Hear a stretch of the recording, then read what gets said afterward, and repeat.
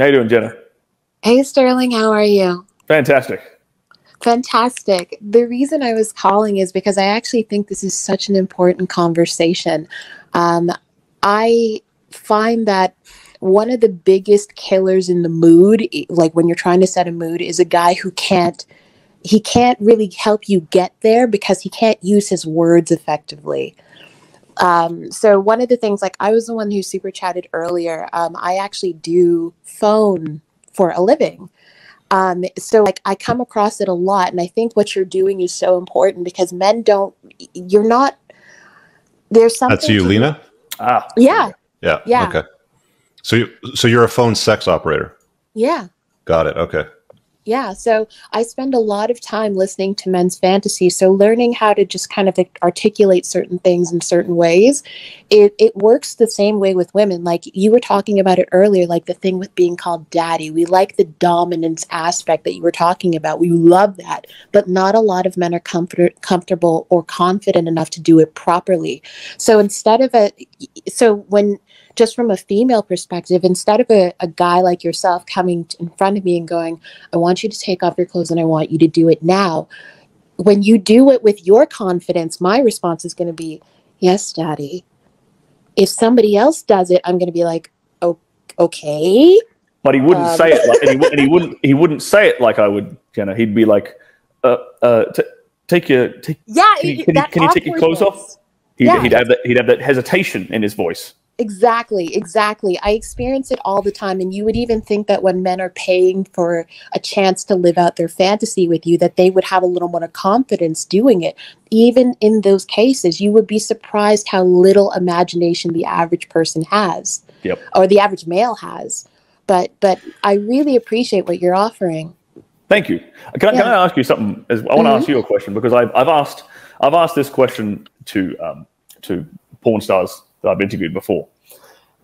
How if you're in bed with a man Mhm.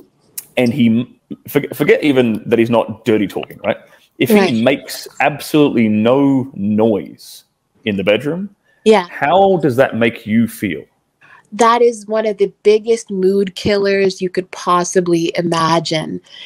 Guys, I'm not even, if there's one thing, the same way that you guys want a response from us, we want a response from you. So, a guy Yep. who's like pounding away and like you could tell that this is like his first shot at sex in a really long time, it's so uncomfortable.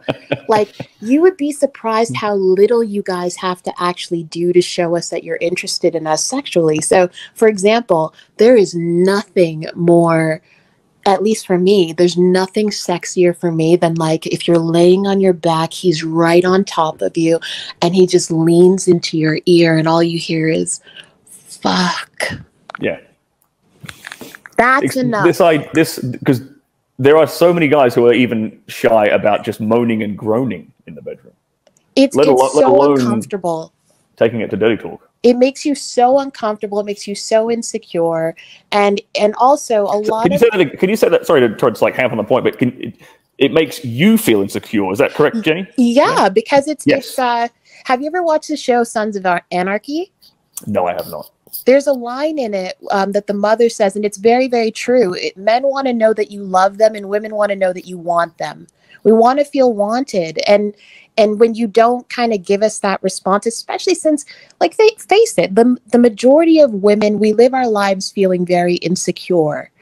And sex brings out most of our insecurities. That's why after a certain age, a lot of us want to have sex with the lights off because we have we have a lot of things going on with us. So little things, especially if you're the strong silent type, just moaning a little something in her ear, just a little bit of um just ju- just something like I've always I personally enjoy dirty talk and I've always been good at it. That's part of how I got into what I do now, but it's amazing how little you guys communicate and I think a lot of that bleeds into your relationship problems too.